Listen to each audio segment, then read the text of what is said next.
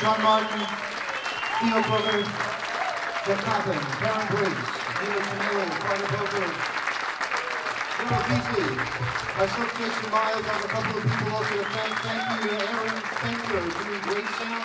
Henry Lewinski coming down, bringing Carter drunk and taking care of us. Thanks to everybody, and thank you for coming tonight. Thank you.